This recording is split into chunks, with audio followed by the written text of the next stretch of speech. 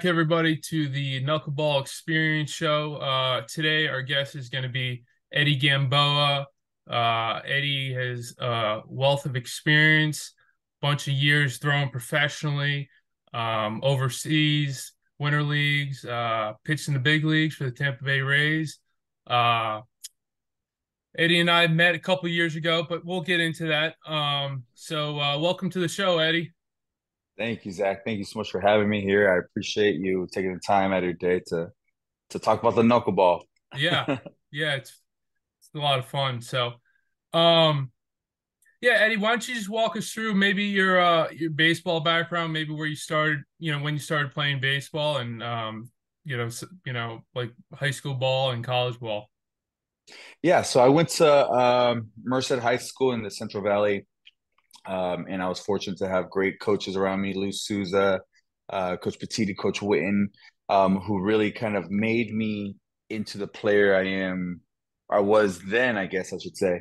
Um, obviously, you know, the the typical your first coach is your dad, and you know he's trying to teach you everything possible about the game. But uh, having them to kind of pick their brain, um, and even our uh, our junior college coach, Coach Pedretti, who uh, I didn't go to junior college, but I was his son's age, Joel Pedretti. And, um, and so we were fortunate to kind of have him as a coach during our travel ball team. So very, very cool experience as a young kid. And, um, you know, was grinding, you know, nothing, nothing that wowed you out of high school. I was probably a buck 60 out of, uh, with a wet t-shirt on at hmm. my senior year, throwing mid 80s yeah. Um, but I was competitive. You know, I was very competitive, and I was fortunate that UC Davis, um, the Aggies, gave me an opportunity. They gave me a partial scholarship to go out out there and play, um, and I just never looked back. You know, but I started throwing the knuckleball when I was 13. You know, mm-hmm. I think Dad was watching uh, Candiotti pitch with the Dodgers with it and just making batters look silly. Um, and he kind of said, "Hey, grab your glove, like let's let's go to the backyard, and you're gonna, you know." So he had no idea how he gripped. You know, I think I was throwing it with like all four fingers at the time, and just you know, literally pushing it like a shot put. Mm-hmm. Um, you know, just trying to trying to kill the spin. You know, which I was I didn't know what I was doing. Mm-hmm. But I just remember getting mad at my father about like, why are we throwing this knuckleball when, you know, at the time I was throwing cheese. Yeah. So uh, you know, little did I know that it was going to get me to a childhood dream of getting to the big league. So very cool. Um, you know, but it wasn't the route I expected to take, if that makes any sense. Yeah. Usually, yeah, usually it's not, it's like a, like a last resort for most guys. It's like, you know, you mess around with like most position players or most guys on the sideline. So, um, Okay, so that was your first experience. Um, so like, all right, so you you went to what UC Davis, and you would you got drafted what your senior year? Yeah, so I went to UC Davis. Um, UC Davis was a Division two when I when I decided to go there, but we were the first class um, to go D one. Okay, and so they were kind of uh, trying to get together the team, you know, to really be competitive, and we're in the Big West, so uh, Long Beach, Fullerton, uh, you know, all these big schools. UC Irvine was huge out here too. So um, we were going to be in that division with them, and so um, it, was, it was tough. It was really yeah. tough, but they prepared us enough for it. And so as soon as we were eligible to go do one, we hit the ground running, mm-hmm. and um, we we made um, we made regionals, I think that year, mm-hmm. or semi regionals, or I don't even know what they call it now. But uh, we had a really good team. Um, our first year being eligible as a D one as a D one program. So um, again, a lot of great coaches that were involved in that, but I didn't throw the knuckleball then. Um, you know, I was I was a normal, you know, 88, 92 guy in college mm-hmm. uh, with a little slider, good change up Went down with Tommy John, so had some downfalls there. But yeah, um, when I was able to come back as a fifth year senior, okay, um, I was able to do well enough to uh, to get drafted. You know, and um, and in my mind, I feel like I never thought of what if I don't get drafted. I think that's so yeah. crazy. that now looking back, right? Because yeah. the odds are against us. But I never had that doubt. I just mm-hmm. I always knew that I was gonna play professional. I knew that um I was gonna keep playing, you know. Mm-hmm. I don't think I don't think people are are ready to, you know, hang up their cleats right mm-hmm. after college or right after high school for that matter, which happens a lot to a lot of mm-hmm. players. So um I just kept the dream alive, you yeah. know, literally. Yeah. And and just grinding it out. And so again, it's just things worked out. I was a Friday guy my senior year. Um, I got a lot of great opportunities. We had um, some great players come out of Daniel Descalso, who was with the Cardinals for a very long time. Uh, Jake Jefferies, who was a, a, third round pick. He was my catcher. So we had scouts at the field. I was pitching against their Friday night guys. Mm-hmm. Um, so so the looks were there, and I, that's that's all I feel like I needed was just the opportunity. Um, and so yeah, we went with it, and was fortunate to be with the Orioles for you know I think it was like seven eight years. Mm-hmm. So I started and ended my career in the states with the Orioles. Heck yeah, nice. All right, um, can you can you talk talk to us a little bit about when you like you said you, you didn't really throw in in college and high school. Can you talk about um and I you know I I I got a little insight here, but can you tell the audience about when you first started throwing it competitively and and what inspired you and um you know what made you do that start throwing the knuckleball competitively? Yeah, so I I always threw it as a joke yeah. catch with our friends, yeah. you know, trying to make them look silly, hitting them in the chest, yeah. um, whiffing at it. Um, and I remember when at Merced High, where the Bears, my junior year, we won section championship. We won the section championship. Yeah. And my last pitch that I threw was a knuckleball. Oh heck yeah! Um, and so it was pretty cool, kind of you know to with the bang finish up um, my high school coach Lou Souza, he was a lefty, and he threw a knuckleball. He, he threw a really good knuckleball. Um, and I, you know, I guess we were winning like seven three, seven four. So we had right. some cushion in there. Had the guy two strikes, two outs. I was like, you know, let's throw Why this not? thing. And so my catcher Josh Rawson called it, and you know, we got a whiff and we won it. But that was one of the very few times I threw a knuckleball competitively um, until I met you. Um, you know, and that's when, you know, you came in in 2013 with the Orioles. Um, I was one of those guys. I was getting older. I think I was 27 at the time. So being in double A, triple A, you know, you're you're kind of you're a veteran. You're old. Yeah. You're on the way out. Yeah. Um, you know, this this game, it's it's a little kid game. So yeah. it's it's coming, it's getting younger and younger every year. Um, and but I was doing well enough to to hold on to a job. You know, I didn't, I wasn't the guy threw 95, but I was, you know, 88, 91, I would touch a two. And my mm-hmm. ERA was always under a three, you know, mm-hmm. and my walks were limited. So I feel like we were, I was just stuck. You know, I was doing well enough to keep a job, but I wasn't doing well enough to move up. You know, yeah. AAA was for the the minor league uh, or the minor league players with big league experience. Yep. Those guys went to AAA, and so we were just kind of held up in Double A for a while. So um, when we met, you know, and I think you remember, like I was your catch partner. I I heard that you threw the knuckleball, and so yeah. I made it a point that oh, I want to play catch with Zach. You know, let's let's let's throw this thing. And so we threw some back and forth.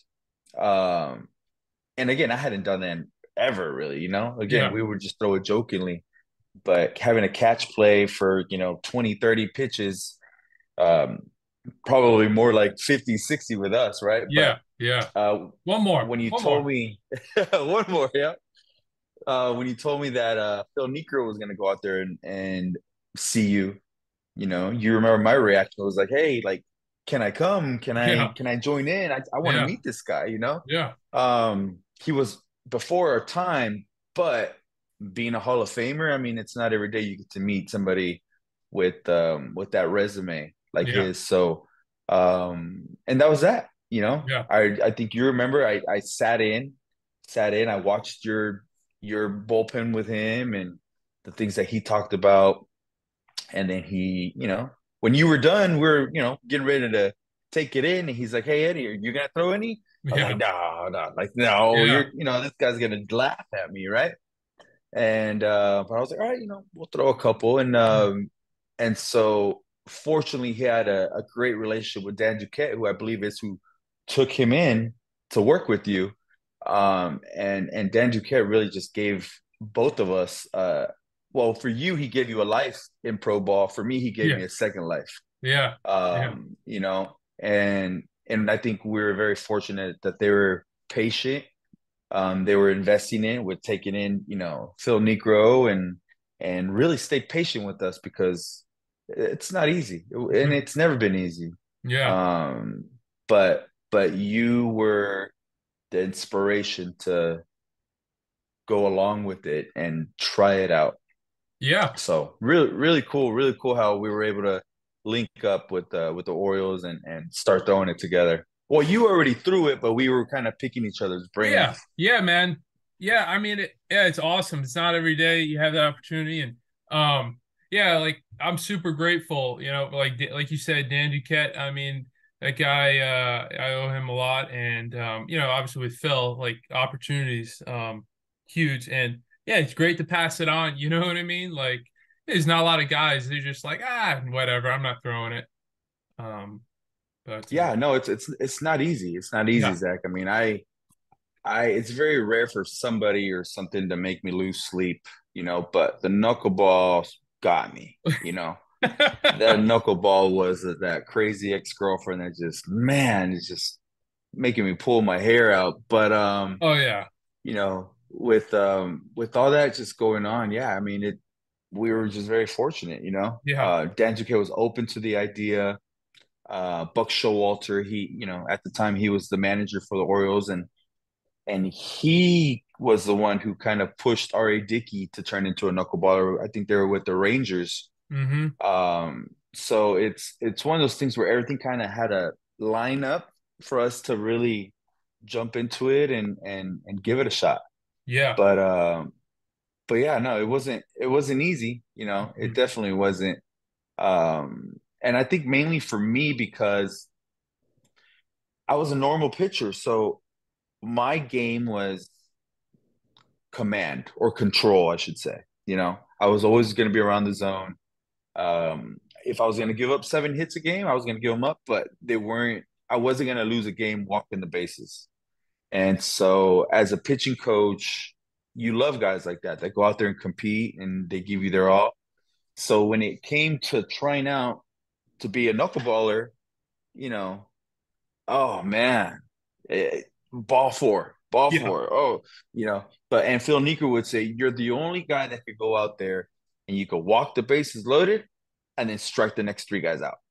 You know, and it's like, well, yeah, you know, it's true, but when you're so accustomed to just being around the zone and and controlling the run game, um, and then all of a sudden you're throwing a knuckleball with a runner on first, and you got a slide step, and it's like, oh, you know.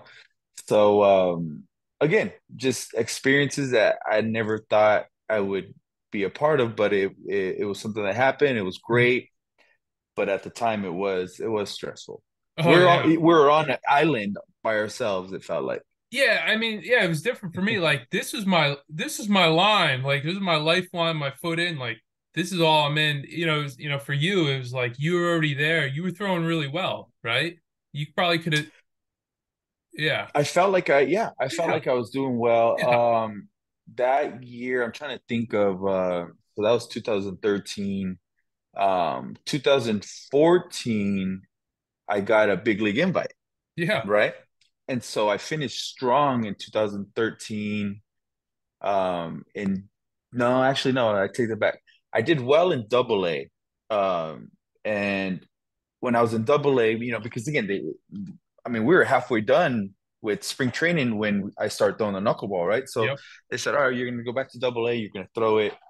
And I said, Well, am I allowed to go 50-50 with it? And they said, Yeah, just but we want you to throw it and you know, just kind of play around with it.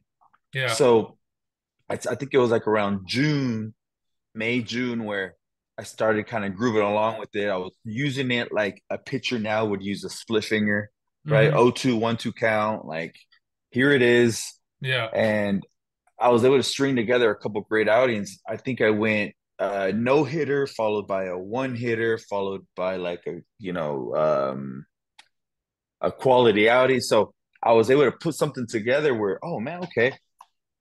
But I was 50-50, you know, Yeah. again, throwing it like somebody would throw a split finger. Um, so I get the promotion to AAA, and I'm surrounded by veterans, right? Guys with big league time. Um, uh, Griffin, he was he was been a he was a AAA coach for the longest time, and I get there and I'm about to pitch. I'm like, yeah, all right. And they said, all right, so uh, you know, just one is a knuckleball, right? I said, uh, well, no, you know, one is fastball, Yeah. you know, because I, I want to use all my pitches, not Yeah. just the knuckle. And so this was, and I forget his name. God, I wish I could think, but he was a veteran catcher, and he's like, well, there's knuckleballers don't do that. You're a knuckleballer. Uh, and so my first outing in AAA, right?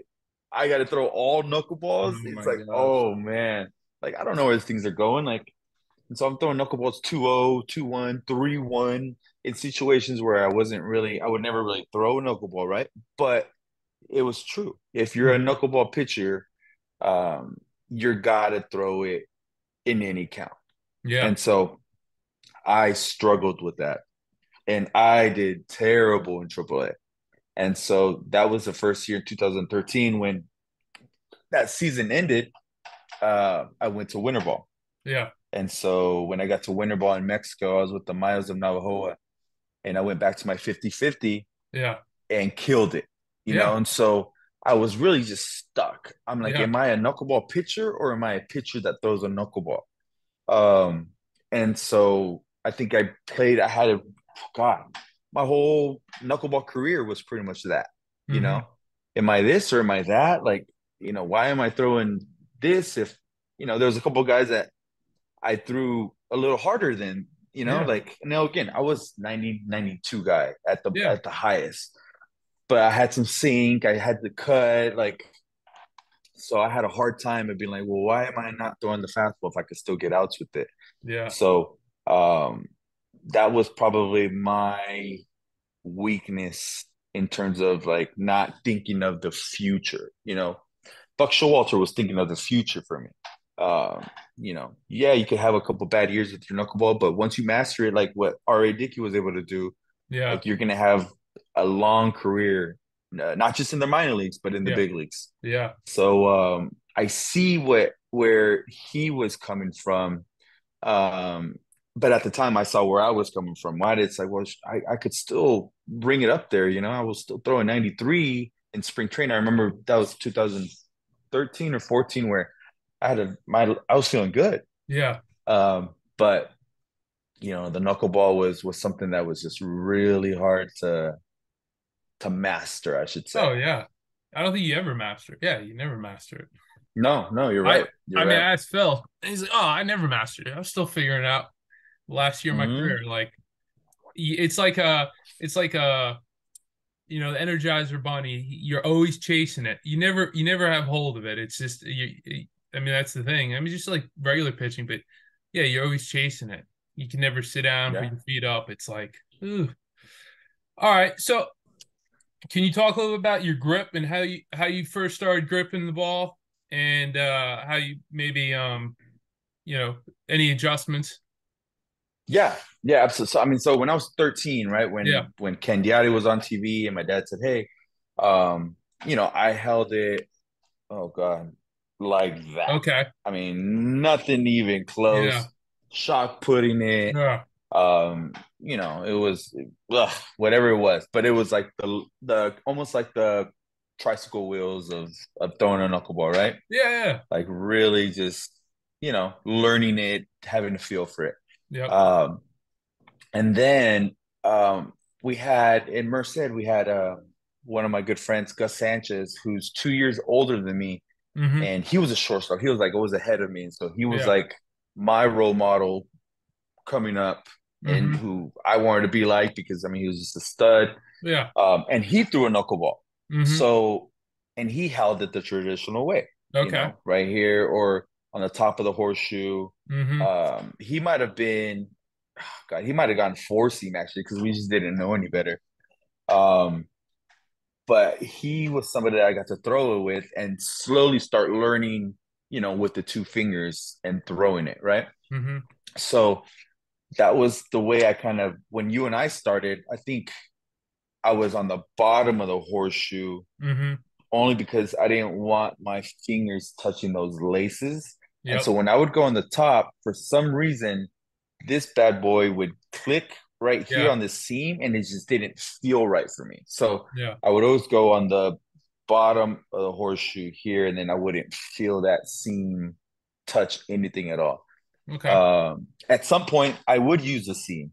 yeah. Um, you know, because again, we're I was trying everything, right? So, but obviously, when you when you're holding on to the seam, seam is what creates spin. yep. Um, you know, that's why you hold your slider on the seam and your Yep. curveball on the seam and your fastball. You're you know getting that backspin. So with the knuckleball, the goal was to not have any seams on it, and so um, and R.A. Dickey really explained that very well for me Mhm. um and talking about his grip and and what he thought about and he was literally just going this way you know Mhm. he wanted to be almost like an iron mike right yeah. going up and almost like hit himself in the jock so Yeah. um and again he god man it was so cool to watch him throw that thing and and you know and Steven Wright for that matter Yeah. too Steven Wright was somebody that I got to play with in the minor league so uh, he was an open book you know and and I was very fortunate to have you RA and Steven Wright because I would text Steven Wright and I mean he would answer back like that. Um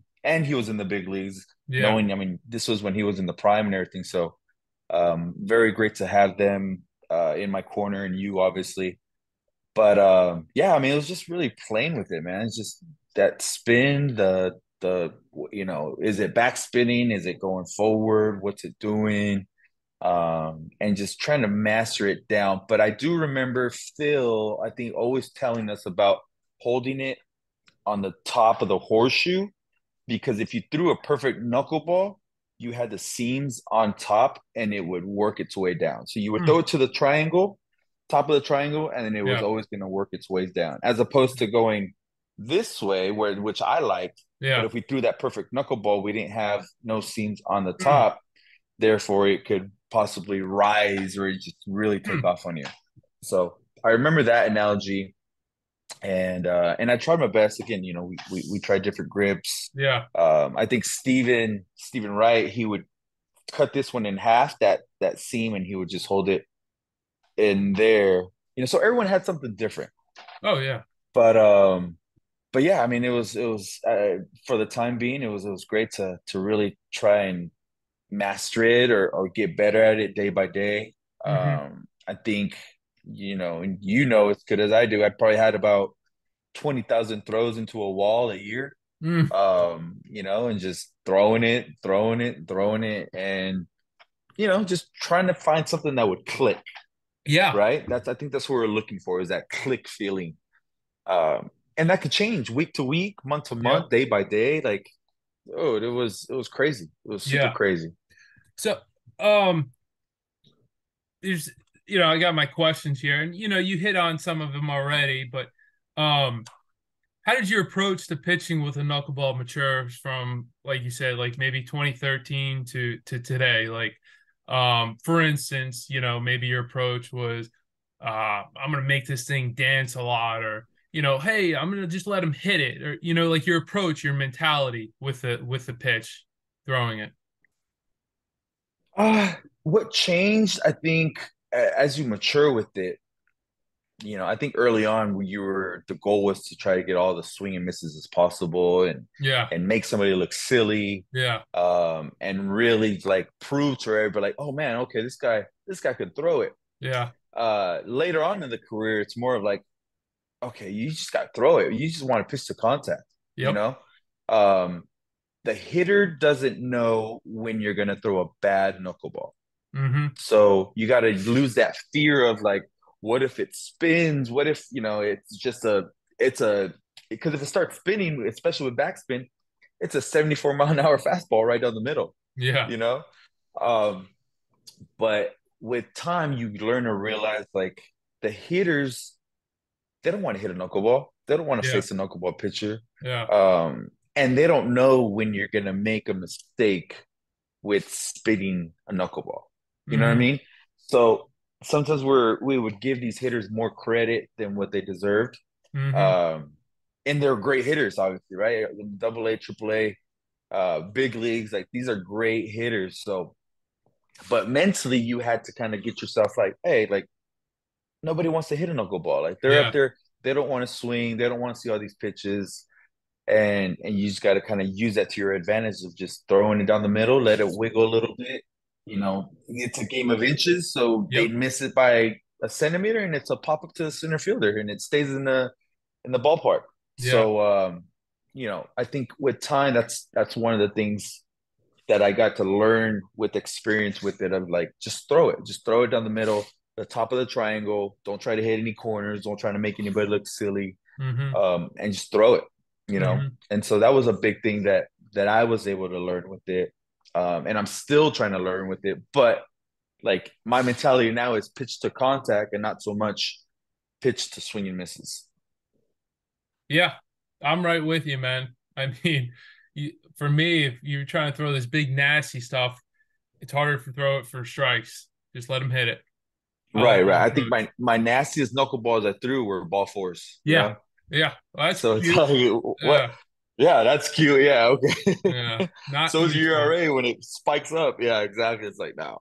Not good. All right. Um, can you talk to us a little bit about uh how you maybe uh upset it, how you upset uh hitters' timing when when you're using the knuckleball? Like, did you change speeds with it? Um, did you add a little bit at certain times?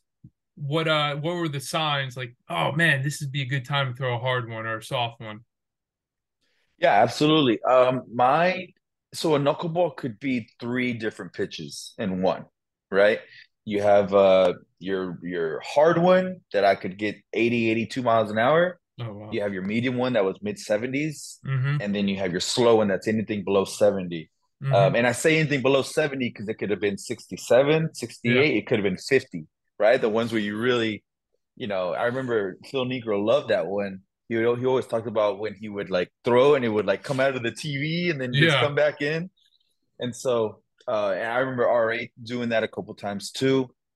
And so I think my slowest knuckleball was probably 50, 51. I don't know if I got anything below, but it was literally just floated up there, right? So uh three different knuckleballs. Your your slow, slower, slowest, I should say, Yeah. because we don't we don't really throw very hard when it comes to a knuckleball. So Yeah. slow, slower, slowest, Yeah. and just changing up those speeds. Yep. You know, um, at the time, I think when I was learning it, we um, we had um, Rick Peterson. I think he was our pitching coordinator. Do you remember that? Yeah. Yeah. And so he was all about messing with people with the hitter's timing. So the whole thing with like Nestor Cortes, what he's doing now, or like the quick pitch, Yep. that was kind of becoming a thing. And so I would quick pitch with the knuckleball. I would slide step, you know, with nobody on, obviously, right? Like you Yeah. just kind of just go with the flow of it. But um, but yeah, that was that was pretty much it. I got a slow one, a slower one, and the slowest one. And you know, for the hitter to kind of know which one it's going to be, you know, these hitters are so used to being hitting the median of uh, 88 to 95 mile an hour fastball. Like their their timing is on that. So uh, anything above it or below it is already throwing them off, right? And so, and again, that might have been another thing that it took me a while to learn because I was like, well, no, like my fastball's you know 91, my fastball's 90. Well, yeah, but that's like right in the heart of what they're used to. You know, I could throw my fastball at 83 miles an hour and I could make them look silly that way instead of throwing it harder, but not so much folding them. Yep. So it was a lot of trial and error. Um, and and again, I mean, it's just it was just learning and trying to feel it out, trying to feel out these Mhm. hitters. Um, my favorite hitters to face were the power hitters because they were just swinging. They were going Mhm. for it. You know, they're they're trying to hit a ball 500 feet. Mm-hmm. Uh, and the hardest ones were like those leadoff guys, those slappers, those slap runner, running gun guys, bunter runners, we call them, right? Um, Yeah. Those guys were tough because they would see pitches fall in. They didn't. They they didn't mind hitting with two strikes, um, and they would just foul and foul and foul. And so those were the tough outs with the knuckleball for me. Mhm. Okay. Yeah, and usually got the tight strike zone too. Yeah. You know, the smaller guys. All right. So, um, can you talk to us a little bit about your preseason and in-season throwing? Like, were you long tossing your knuckleball? Were you trying to throw off the mound a lot? Um, like you you mentioned earlier about throwing against the wall, right? I mean, um, Mm. what what what did that look like? How did you prepare for the season, and how did you stay ready during the season? I think it was normal for me. I think I, I stayed normal. I, I hit the weights. I ran. Um, you know, because your arms got to be ready for it. So I'd get my long toss in. I had a good little throwing program that the organization would kind of send out, and then you kind of make it into your own throwing program. But Yeah.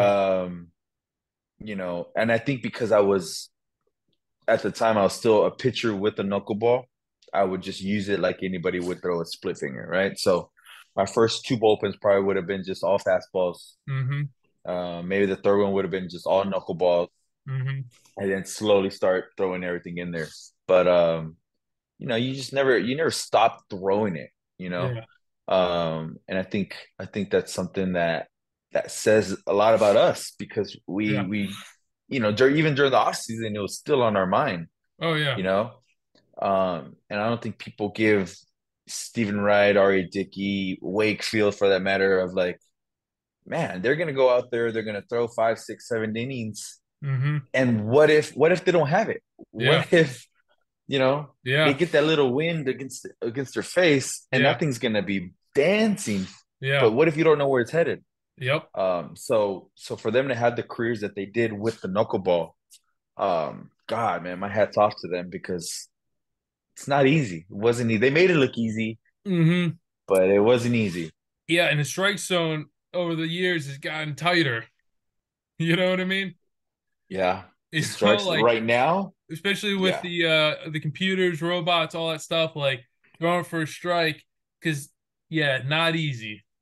No, no. Right now that zone is super tight. Yeah. And um, you know, Wakefield, Wakefield was one of the first ones. Uh, zone was a little big, Yeah. you know, and he dropped down. He wasn't your very conventional pitcher because he was our first baseman, but obviously the career that he had was unbelievable.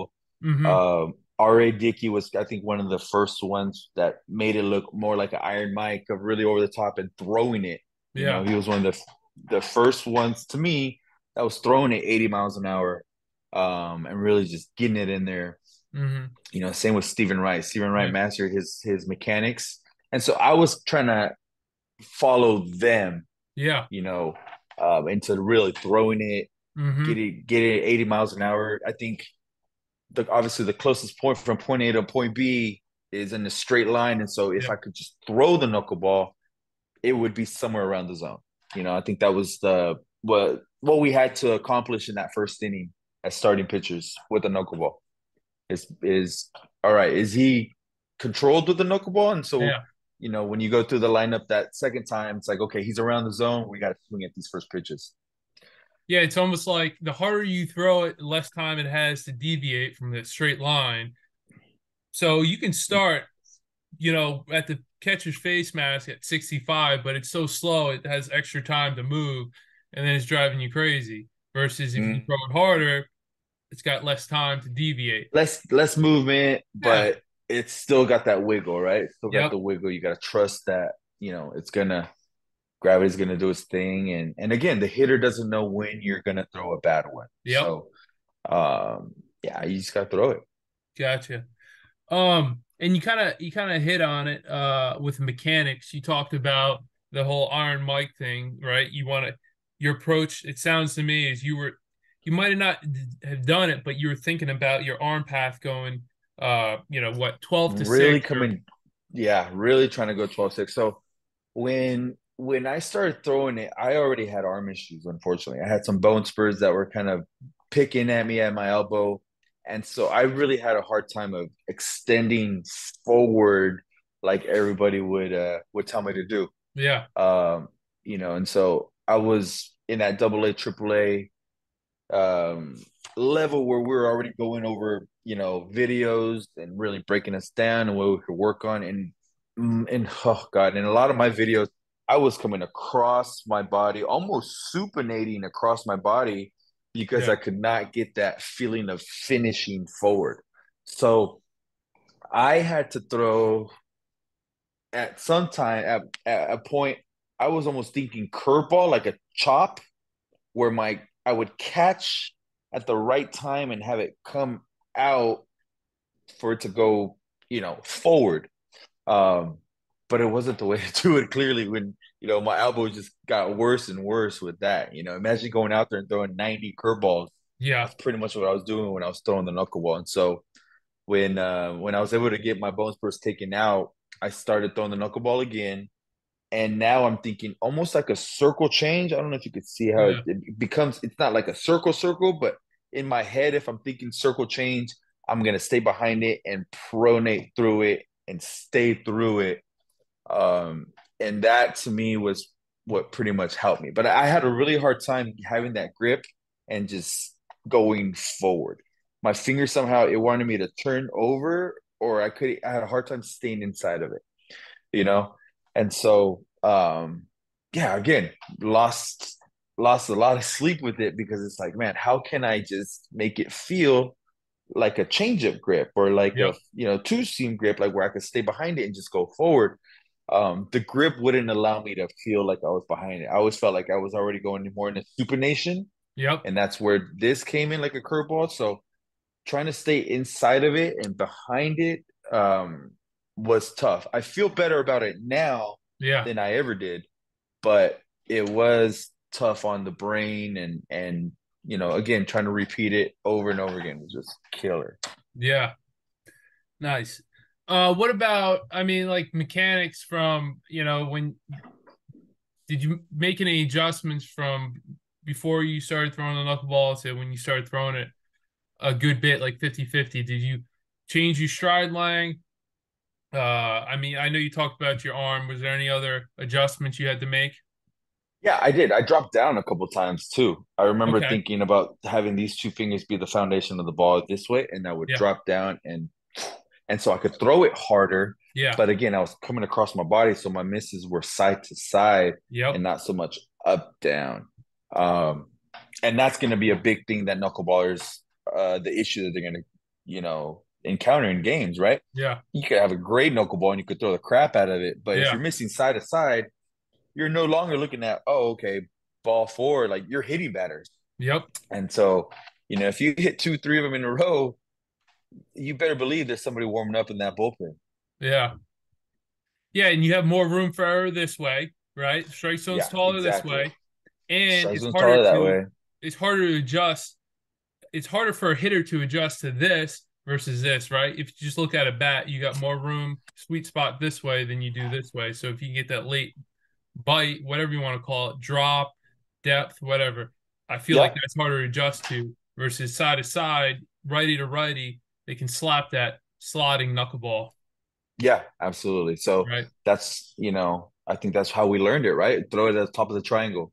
Yeah. Um, it's gonna be very rare for a ball to kind of take off rising, which but people I'm sure did tell us like that ball go up, but it's very rare for it. It's going to work its way either this way or that way, but it's going to work its way down. So, um, throwing at the top of the triangle, everybody was trying to hit their fastballs, throw them knee high, and mm-hmm. you know, and then you and I, we were the opposite. We are trying to miss up.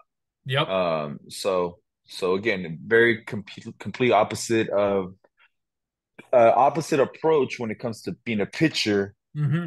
But it's like, wait, so I got to throw it high, like you know. Yeah so um, some cool, just you know, some cool experiences with it where you're just sitting like, oh man, like they want me to miss up this, yeah. you know. Um, they want me to throw an 83 mile an hour fastball, you know, like that's yeah, that's every high school kid's dream to hear. Hey, we want you in the big leagues and throwing 83, 84. So uh yeah, but uh different. easier easier said than done. Gotcha. Um let's see here. Going over a lot. I don't know. One problem I I had, I don't know about you, right? The pitch is a field pitch. So, you know, you pitch in the GCL, it's 95 with humidity. You know, was sweat, you know what I mean? Like, you know what I mean? Like, was sweat a big deal? Like, what, uh, for keeping the feel of the pitch? Or that didn't really um, bother you? Yeah, yeah, no, the sweat would definitely be an issue. I, I had a, I cut my nails. Yeah. I would cut my nails before every outing. Okay. Um, it would help me have a feel. I didn't cut my nails today, but yeah, I it would help me really feel like I was a part of the ball. And so yeah, um, I know that RA would put on like the fake the fake um, nails. I think I remember I, I remember you trying it. Yeah. Uh, you would put some nails on and, and see if that worked, but but I I would have no nails. Like I wanted to really feel the ball on the on the tips of my fingertips. Yeah. On my fingertips, I should say. Um, and and so every before every outing, I would cut my cut my nails to to throw the ball. So with that, I was right, brand new Orioles 2013. I was throwing a bunch, right? Let's get ready. On my nails, it cracked about a quarter inch. On my yeah, I remember that. what am I gonna do, coach? Oh, hey, let me. Can I go on a DL? Give me a couple weeks. So I mean, that was but you know what? I overcame and adapt, and I I was fine. I mean, yeah, terrible timing, but uh, yeah, I'll never forget that. And I was just, but anyway, that's another story. yeah, but yeah, that was terrible. yeah, you got you got to keep your nails strong. Yeah, yeah, you had to keep them tight. Yeah, and uh, you know, I guess nothing, no, you know, super glue could probably help out a little bit. I don't know, but yeah, but I never. I think I would get little chips. Yeah but nothing too crazy where, you know, because I would cut my nails before the outing. Gotcha. So um, you know, but again, it's still it didn't help out so much the anxiety going into these games, right? Mm-hmm. So when I got to the big leagues, I wasn't able to really enjoy it. Mm-hmm. I don't know if that makes any sense because I was so stressed out about like, oh god, you know, and they were gonna bring me in as a relief pitcher, a long relief pitcher. So the you know the Rays in 2016. I mean, they had some great arms, and everybody stayed healthy. Yeah, you know, Blake Snell was with me in AAA, and he got his opportunity to go up and down uh, that year, but but he was mainly in in AAA. You know, and Blake Snell being Blake Snell, so um, just to show like the team, the pitching staff that they had at the big league level was just you know they're amazing. So when I did get my chance to go up, um, it was as a long relief guy. And every day was like oh god you know because it's like you're gonna come in and it's you gotta you gotta come in and go. It's not a you know oh, okay let me feel my way into this game like a starting pitcher right? It's no you gotta go in and and go. Strike one right off the bat with the knuckleball. Yeah. So my first pitch in the big leagues was a pitch to the backstop yeah that was my first pitch. It was a knuckleball, and I threw it to the backstop. Oh man! And yeah. so, um, you know, again, it was one of those things where so fortunate that I had the opportunity to get to that level. Uh, but the stress and the oh, am I ready? Am I not ready? Every game being a relief pitcher because you got to be ready every day. Yeah. I, oh, dude, it was not a fun experience. Oh, no, no, because, there when you oh, throw. Oh, yeah. By the way, you're on national TV, but yeah, we go ahead and just just throw it, right? It's like, dude, you know. um, and so, but again, I ended up being 50 50 in the big leagues. Mm-hmm. I mean, I was only up for a couple of what 35, 40 days. Mm-hmm. Uh, and so my first nine innings, I was, you know, 50 50, 60 40, 70 30, whatever. I was still mixed in my other stuff. And so I was feeling good. And um, we're in Chicago, and uh, Cash calls me in, and he's like, Hey, you know, the front office called, they want you to throw the knuckleball more. And I was like, what? Like, but I got nine innings. Like, I've only given up one run. Yeah. You know, like, I'm feeling good. I'm doing, you know, he's like, well, we're not we're not in a playoff run right now. If we're in a play, if we're making a playoff push or something, he's like, you wouldn't be in here, right? Like you're doing your job, you're getting out, you're coming in, getting out, you're eating up innings. We wouldn't be having this conversation, but we're not really playing for anything now, and you're here because they want to see you. They want to see how it plays your knuckleball. Yeah, and I remember from then on, it was oh, dude, dude, it sucked. It yeah. sucked. So my next outing was against the White Sox and um, uh, in at Chicago, and I ended up being a prayer pitcher, which is not recommended, right? Where you go out there and you throw it and you're saying, "Please swing at it, please yeah. throw a strike." Like, no, that's that's not the kind of pitcher you want to be. But for my last two, three, four outings, whatever it was in the big leagues, it was all strictly knuckleballs, and I didn't enjoy it one bit. So, um, but yeah, I mean, I was able. To, I think I got. I went three innings that that game. Gave up my first home run of the year to Frazier. I think it was. I say it was Joe Frazier. Um, I think we lost that game by that one run, mm-hmm. and then my other one was against the Rangers, and you know, again, multiple innings, but all knuckleballs pretty much. So, putting me on national TV on a pitch that I don't know where the heck it's going. Everybody's watching, right? Because you're gonna get yeah. all these text messages and everything that hey, we saw you on TV. You know, you don't want to be a part of that non-top ten, right? So yeah. Um, and then you got your coach telling you, hey, you can't throw your other stuff. Oh, so that was something that I didn't really enjoy. But obviously, it's you're in the big leagues. I mean, it's it's an experience of a lifetime. It's um, it was a blessing, mm-hmm. and I tried to make the best of it as best as I could. Mm-hmm. But when I was with Tampa in the minor league, you know, I go back to being a 50 50, 60 40 kind of pitcher. Yeah. Not so much your traditional, you know, knuckleball pitcher who's going to throw it 85% of the time or higher. Yeah.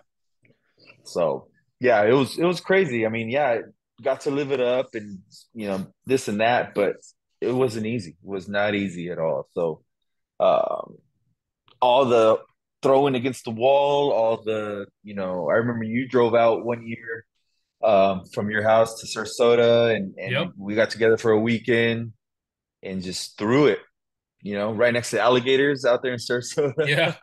Yeah, that was fun, man. That's it. Yeah, no, we had some some great experiences with it. But um, you know, it's it's one of those things where you really got to go in and feel good about it for you to get to that next level. And so anybody can do it. It's just you got to work hard for it. You got to stay dedicated, and you just got to just chase that click. I think once you once you get that click, you feel that you know. I, I always talk about it's an equation for me. Uh, I've always been good at math, mm-hmm. hate science. Yeah. So for me, it was always like, okay, let me dumb it down and put this equation together of like, you know, okay, my knee to my chest plus my glove goes out and the extension equals something around the zone um, you know, again, for me, I had to really dumb it down to to to make it play for 80 to 100 pitches a game. So, um, but yeah, you're you're gonna chase that click, you're gonna chase that that it feeling of oh, mm-hmm. there it is, and then just run with it. You know, yeah. I think that's that's the message you and I can send off to these young kids who who would want to throw a knuckleball, who would, who would like to be a knuckleball pitcher. Um, but I I always said, you know, because I remember uh, Buck Showalter told me like, there's no knuckleball pitcher that's, or there's no pitcher that just throws them like you're either a knuckleballer or you're not. And so, and I respect that tremendously. You know, Buck Showalter, the, the years that he's been around baseball. Yeah. But in my head, I always remember thinking like, there's gonna be somebody soon that will throw 95 plus with a knuckleball. Um, and I think we almost saw it with the guy who's with the Padres right now. Um, I'm not sure how many outings he's had, but he did throw a couple knuckleballs with 93, 94 mile an hour fastball, and I thought that was pretty cool. Yeah, um, uh, Matt Waldron. There name. you go, Matt Waldron. Yeah. yeah, and unfortunately, he gave up two home runs on fastballs. Yeah, it was on fast. You know, it's like ah, but you know, I think in the future we will have something like that because that split finger is looking more and more like a knuckleball. Mm. Um, you know, not as much rotation, Mm-hmm. um, especially if you really have that that fork ball. I've seen some Mm-hmm. fork balls really look like knuckleballs Mm-hmm. um, in in some guys, and so so we're we're getting closer and closer to that feeling of having guys, you know, 95 plus with the knuckleball. Mm-hmm. So um, hopefully we get to see that in in our lifetime. But it's not Yeah. easy, but No. it's definitely doable. Yeah. Yeah, man. So, I mean, you know, you, you touched on it a little bit there. Just best advice for, like you said, someone starting out with a pitch. It sounds to Mhm. me repetition, find that that that click, whatever clicks. Find the click, find the equation, find Yeah. whatever helps you dumb it down, Yeah. simplify it, simplify it, nothing too crazy. I Yeah. think that was what what R.A. Dickey R.A. Dickey was really pushing towards of just like, well, I'm just I'm just split my eyes. I'm just getting, you know, and it's like you're on national TV, you just Yeah. want to Cy Young, you know, and that's all you're thinking of just splitting your eyes or just really coming down through it. Um, I mean, it's it's it's crazy, but yeah, that's that's the way baseball is at those levels. It's something it's simplified. You know, there's Mhm. no magic wand Mhm. um, for you to get at these level of these guys where they just work extremely hard at it and they're they they know what they need to work on. You know, Mhm. we could be out there all day throwing sidearm with the knuckleball, Mhm. and it's probably not going to get us any better because if we're throwing sidearm, we're coming across our body, and if we're coming across our body, that means we're going to miss side to side. So, not beneficial at all when it comes to you know going out there and, and trying to miss up down with these things. So, so really having quality practices with the knuckleball and focus on that and just just stay stay determined you know Yeah. that's it Gotcha. Yeah. Yeah, that's good advice. It's yeah, being determined. I think uh persistence is is key because uh yeah, it's a feel thing and um there's a lot of guys that have better knuckleballs than you and I on the sidelines, but when you get on the mound, it's a little different and uh you need to be persistent on the mound, I feel like, you know. yeah yeah absolutely you got to get on the mound um oh yeah a ton of guys can throw a knuckleball right Oh but yeah. you you get them on the mound you get a runner on first base you know you got a three two count it's like okay you throw a knuckleball throw it in this count Like, Yeah. Yeah. not easy to do it's not easy to do uh easier said than done Yep. Is it fun? Yeah, of course it's fun, but when you have how do I say this? We're very competitive, right? I've always Oh, been yeah. competitive by nature, so I never want to lose uh, in anything that I do. That's why I don't play video games because I'm not good at them. Therefore, I'll lose. But Yeah. you know, we we do anything else that I'm kind of decent at. Like I'm gonna do my best to kick your butt. So every every batter that I faced was always a battle. And it's like, okay, who's gonna win this? You or me? You or me? Mhm. And so, and again, that's where I had a hard time of saying, oh, three, two count, I gotta throw a knuckleball. It's like, but wait, I want to blow this thing by him, or I want to Yeah. like, you know, I want to do this or that. You gotta throw the knuckleball. I had to throw the knuckleball, and I had to learn how to just stay calm with it and just make a pitch, as opposed to tense up, muscle up, blow it by him. Like, no, you just gotta follow your little equation and get, you know, up, down through it and just, you know, be around the zone.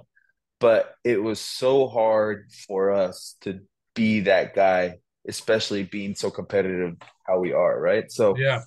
um you're gonna it's gonna be stressful, but I think the things that we were able to learn from that, if you could start that with that foundation and Yeah. move up, like, you know, I think that's kind of why we're having this conversation in the first place, is to try to make it easier for the next generation. So when they do start throwing it, they don't do all the dumb things that you Yeah. and I were doing. And, Yeah.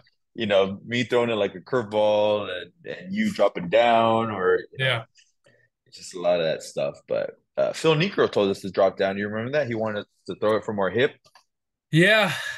It's tough. Yeah. Yeah, I mean, it's tough coming from a guy like him, right? You know, he's the he's a godfather or whatever. Yeah. Um, Mhm. yeah, when we went down to Sarasota, I mean, it, I remember we talked about it, and I agree. Like, yes, this is you got more more room in the strike zone, right? You got more room here. Mhm.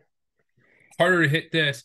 For me, like I wasn't like, oh, let me drop down. Like, like I remember we, I gave it a while. I was like, all right, Eddie, I'm gonna try to throw on top, right? Let's I'm gonna go yeah. top straight down. And I it was just like it was like me trying to throw lefty. You know what I mean? Like like it just wasn't it wasn't clicking. And you know, you're not the first person to tell me that. It's like, dude, you know, try to get here. Try like let me back up. I was still I was still getting through the ball, but I was right. I was coming across. Yeah, we'd come across good yeah. ones.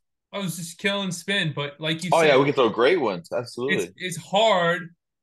Yeah, it's, it's it's it's just harder. I think you can do it, but your margin for error is smaller versus if you're naturally coming more over the top, you have more room for error to get this movement versus yeah. a guy that's coming more side to side. Right. And you also have to remember, I mean, when when Phil was pitching, um, maybe a little bit even with Wakefield, like yeah. the strike zone was bigger. There yeah. was a bigger strike zone. Yeah. Um, so you could be six inches off and get the call for a strike. You could you could, you know, have it high, you could have it low. Yeah. Um, but what R.A. Dickey, what Steven Wright, I guess what I kind of went through for a couple days, you know, uh, it's harder. It's harder. Yeah. Strike zone smaller. You got to get these guys on swing mode. Um, and so your room for error is not you have to be up down with it or else you're going to run into some trouble going across your body you, you yeah. know going across your body is going to create inconsistency inconsistency is going to be you walks. know ball forward walks yeah hit batters yep so um if you if you are going to learn it you know try to stay in what they say now stay in the doorway you know mm-hmm. just keep it simple and and almost like an iron Mike, just go forward with it. Chin chest goes to your target and see what happens, you know. Yeah. But um, but yeah, I when I got to the big leagues, my my experience was more of a of a prayer pitcher, you know. Yeah. Uh, my equation wasn't really there. Yeah. Um, it could have been there, but I think getting me on that stage, it's like, am I ready for this? Am I not ready for this? It's like, oh God. So um, all that thing that we just talked about with oh runner on first or hey runner on third don't bounce it. Oh god don't you know. Yeah. And so all that will get to you. It's not just oh i got a good knuckleball. Uh, it doesn't matter. It doesn't matter when you're on the mound and you know the winning runs on third base and you're trying to get that guy out. But, yeah. uh, practice is key. Practice practice won't make perfect but it'll it'll get you better it'll be persistent right that yeah. say now yeah, practice. Yeah, makes permanent. Um, yeah, that's one thing I I try to do. Obviously, I didn't. I never figured it out, but uh, keeping count. You know what I mean? I didn't want the game to be the first time I kept. You know what I mean? Like you go to a bullpen. Oh man, you know, whoa, look at that thing. You know, oh, that's great. But like, keep yourself accountable. Hey, uh, catch. Let's call pitches. You know, let's call balls and strikes. You know, let's keep it real and uh you know what I mean? It's easy to throw when there's nothing, there's no value to your pitch versus keeping account. Hey, you just threw four balls, like make an adjustment. Versus if right. I didn't keep an account, it could have been like, wow, did you see that movement? Like, that's great, dude, but we need strikes, number one. Uh, I think, you know, try to simulate. Yeah. You can't simulate exactly right, but that's a way to make your practice more like the game. Keep counts. Yeah. Change your looks with runners. Like, you should not and this is something i had big growing pains with is uh during bullpens i would change come set one one thousand two one thousand three you know change my looks in the bullpen you know mm-hmm. run on second i think that's key right because like yeah. you said there's a lot of position players that can kill spin all day but you want to practice like you said hey there's a run on third you know in your head or you know what i mean so, oh yeah no i think i think the hardest the hardest thing for me as a knuckleball pitcher mm-hmm. uh, was pitching with the runner on 1st mm-hmm. I had a hard time with that because we had to give the catcher some time. You know, where if the guy did run, it wasn't on you. You know, you're so yeah. I think I think being a knuckleball pitcher, one four was probably my cutoff. Mm-hmm. Um, ideally, you want to be one three or faster, but with the knuckleball, I think a one four. If I could be below one four, I I feel like okay, I did my part in that. Um, but the the thing that that I couldn't put my head like I just couldn't put two and two together is at one point I had a better arm with my fastball than R.A. Dickey Mm-hmm. but he could throw the knuckleball harder than me. Mm-hmm. You know, and so that's something where I was like, wait a minute, like, so is it my grip? Is it what am I doing wrong? Or, you know, um, and so and it, that's something I still don't understand. I think he just really got a click. He got a feel for it, and it clicked, and he was able to just do it over and over and over again. And that was something that at the first, at first, you and I were chasing that feeling. Um, but I, it's like okay, when he throws his fastball as hard as he can, and I do it, mine's three, four, five miles harder. But when he throws his knuckleball and then I throw it, his knuckleball is three, four miles an hour harder. You know, so it's like Mm-hmm. I couldn't really understand that. Um, but he just he found that feel and and he could throw it right. And so I think that's the feeling of like with kids when they're starting to throw changeups, you know, they're slow and then you know then they get to a comfortable point where they could really throw it and finish Mhm. it. And so um, I think that's where that comes from with that when it came to R.A. Dickey and even Steven Wright for that matter too. Steven Wright, you know, he was he would throw it in that mid upper eighty, uh, mid upper seventies um, with the knuckleball, um, and he was very deceptive throwing his fastball too. Yeah, they were they were aggressive with it. They weren't up there Yeah, just like, you know, throwing darts. They were aggressive with it. They they almost they almost competed with it versus, you know, if you look at Wakefield, and I don't know what he would say. I mean, you know, it looks like he's playing a game of catch. Like he's almost that's just my opinion. yeah, I don't know what his thought was. Like he's just, hey, I'm just playing catch with my catcher. Like just yeah, yeah. That's pretty much what it was. I think he was like 55 to 65 with his Yeah, knuckleball. Um, you know, but but it was cool with his career because he was a he was a hitter, right? He was a first yeah, baseman with the Pirates. He was a regular, you know, he was an athlete out there. So yeah, he went from that to being a pitcher. And so I think that was his analogy of just, all right, let me just play catch with them, right? yep, Um, and then R.A. Dickey was a regular pitcher. He was, you know, I think he was a supplemental round pick guy and kind of lost his fastball and, hmm you know, knuckleball kind of brought him back. Same with yeah, Steven Wright. yep, Steven Wright did same kind of thing with R.A. Um, but but yeah, playing catch with it and really throwing it, you know, I think I've always liked that. Hey, let's let's throw this thing. Let's let's be competitive with it. Um, let's get some weak contact out there. You know, yeah, and that's if with if you want to be a knuckleballer, that's something that you understand that it's easier and it's better to throw two two knuckleballs and boom, the ball's in play than um sit there and three two everybody and then okay, let's just say you struck out the side. Yeah, yeah, but it it took you 30 pitches, yeah. you know. So it's something that as a pitcher, as a starting pitcher, is you gotta eat up innings, you know. That's that was a big goal for a knuckleball pitcher is to eat up innings. And you're setting up your pitchers for the next day, yep, right? Because that team just got done, you know, they they they went through three at bats and they saw a bunch of knuckleballs, yeah, you know, and so they're kind of losing a little bit for the games to come when okay, now you bring in that lefty or you bring in that hard throwing righty. Um, you know, they just got done seeing the knuckleballer yeah, for six, seven innings yesterday. So um, again, there's there's a lot of theories that go into why a knuckleballer is so beneficial. Um, with the Rays, they used it as you you know we had I think we had like uh who was it? We had a lot of pitchers, but let's just say it was a hard throwing righty followed by me knuckleball for two innings and then bring in a lefty. I mean, so the Rays had an idea behind it, and obviously Tropicana Field like the ball just moves a ton more at at the Trop with really, the with the Rays organization. Yeah, because it's a dome, and you know a lot of these like you know with the trackmans and everything like the records I would imagine are at Tropicana Field because of how much the ball moves there. It's crazy. I don't know what you know. Again, there's more to it than what we would know, but being indoor or in a in a dome yeah, could be beneficial, right? yeah, You know, which goes back to when R.A. Dickey was with, the Mets. I want to say he was with the Mets, did well, and then when he went to Toronto, he maybe he struggled a little bit because he was in the dome, but it might have not moved as much. Who knows, right? But yeah, I know that when you're elevated like Colorado, yeah, the ball's not going to move as much. Yeah. Um, and so there are those things that happen, right? But um, but again, I mean, it's it's just a matter of a team taking the chance on on a knuckleball pitcher who's going to go out there and you know, not so much you got to win all the games, but you just got to be able to eat up innings and be competitive and keep the the game tight. Yep.